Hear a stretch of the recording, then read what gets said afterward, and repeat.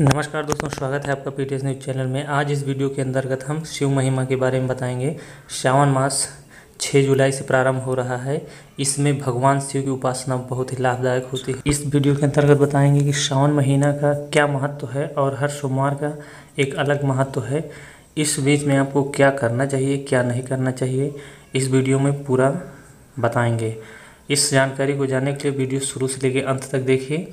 और अगर आप इस चैनल पहली बार आए तो चैनल को लाइक करिए, सब्सक्राइब करिए, साथ ही बेल आइकन को दबाना ना भूलें, जिससे कि हमारे वीडियो की अपडेट नोटिफिकेशन सबसे पहले आपके पास पहुँचे। आइए देखते हैं इस श्रावण महीने में भगवान शिव की उपासना कैसे की जाए। तो भगवान शिव की उपासना का महीना श्रावण छः जुलाई से शुरू होने जा रहा है। खास बात यह है कि इस महीने की शुरुआत भगवान शिव को समर्पित दिन सोमवार से ही हो रहा है और इसकी समाप्ति भी तीन अगस्त सोमवार के दिन हो रहा है। यानी कि इस महीने में कुल पाँच सोमवार आएँगे और पहला सोमवार जो छः जुलाई को दूसरा तेरह जुलाई को तीसरा बीस जुलाई चौथा सत्ताईस जुलाई और पाँचवा तीन अगस्त को है। श्रावण मास के सोमवार बहुत ही सौभाग्यशाली एवं पूर्ण फलदायी देने वाला है। इसके महत्व के, के बारे में बात करते हैं श्रावण माह यह भगवान शिव को बहुत ही प्रिय होता है। स्कंद पुराण की एक कथा के अनुसार सनत कुमार भगवान शिव से पूछते हैं कि आपको श्रावण माह क्यों इतना प्रिय है? तब भोलेनाथ बताते हैं कि देवी सती ने हर जन्म में भगवान शिव को पति रूप में पाने का प्रण लिया था। पिता के खिलाफ होकर उन्होंने शिव से विवाह किया, लेकिन अपने पिता द्वारा शिव को अपमानित करने पर उनके शरीर त्याग दिया। उसके पश्चात माता सती ने हिमालय में नैना पुत्री पार्वती के रूप में जन्म लिया। इस जन्म में भी शिव से विवाह हेतु उन्होंने श्रावण माह में निराहार करते हुए कठोर व्रत से भगवान शिव शंकर को प्रसन्न कर लिया, उनसे विवाह किया।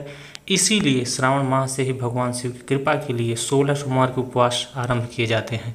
श्रावण, सोमवार व्रत के जो लाभ हैं, वो भगवान शिव की पूजा के लिए और सुखी वैवाहिक जीवन की कामना से श्रावण, सोमवार व्रत रखे जाते हैं। अगर किसी भी तरह की विवाह में अड़चन आ रही है तो संकल्प लेकर श्रावण के सोमवार का व्रत किया जाना चाहिए। आयु या स्वास्थ्य बाधा हो, तब भी श्रावण के सोमवार का व्रत श्रेष्ठ परिणाम देता है। साथ ही सोलह सोमवार व्रत का संकल्प सावन में लेना सबसे उत्तम माना गया है। अगर आपको सावन सोमवार या किसी का फिर व्रत स्टार्ट करना है सोमवार का खास करके तो सावन महीने के छः जुलाई से ही स्टार्ट कर दीजिए। सावन महीने में मुख्य रूप से शिवलिंग की पूजा होती है और उस पर जल तथा बेलपत्र अर्पित किया जाता है।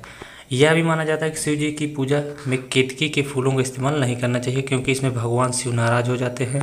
तुलसी का भी प्रयोग भगवान शिव की पूजा में नहीं होता है। शिवलिंग पर कभी नारियल का पानी भी नहीं चढ़ाना चाहिए। भगवान शिव जी को हमेशा कांस्य और पीतल के बर्तन से ही जल चढ़ाना चाहिए। आगे आपको बताएँगे कि इस सोमवार के अंतर्गत अब आपको क्या नहीं करना चाहिए। जैसे कि सावन में हरी पत्तेदार सब्जियों का त्याग करना अच्छा माना जाता है, क्योंकि सावन में हरी सब्जियों में पित्त बढ़ाने वाला तत्व की मात्रा बढ़ जाती है। इसके अलावा सावन के महीने में कीट पतंगों की संख्या बढ़ जाती है, जो सेहत के लिए हानिकारक होते हैं। नंबर दो है कि शिवलिंग पुरुष तत्व संबंधित है, इसलिए कभी भी शिवलिंग पर हल्दी नहीं चढ़ानी चाहिए। आगे नंबर तीसरा पॉइंट है कि सावन के महीने में सात्विक भोजन करना चाहिए, इसमें मांस, मदिरा, प्याज और लहसुन के सेवन से बचना चाहिए। सावन के महीने में दूध भी नहीं पीना चाहिए, इसलिए सावन में शिव जी का दूध से अभिषेक होता है। विज्ञान के माने तो इन दिनों से दूध पीने से पित्त बढ़ाने का काम करता है। सावन में बैगन खाना अच्छा नहीं माना गया है। वैज्ञानिकों के कारण नज़रिए से देखें तो सावन में बैगन में कीड़े लग जाते हैं। ऐसे में बैगन का स्वास्थ्य पर बुरा प्रभाव पड़ता है। किसी का अपमान न करें और किसी भी प्रकार के बुरे विचार मन में नहीं लाना चाहिए। अगर घर के दरवाजे पर सांड गाय आ जाए तो उसे मार कर भगाए नहीं बल्कि कुछ ना कुछ इस समय में खिलाएँ। क्योंकि सांड को भगवान नंदी का रूप माना गया है और वही जो शिव जी की सवारी भी है। इसलिए आप सावन महीने में जो करना चाहिए वही करें और जो नहीं करना चाहिए उससे इस समय बच के रहें।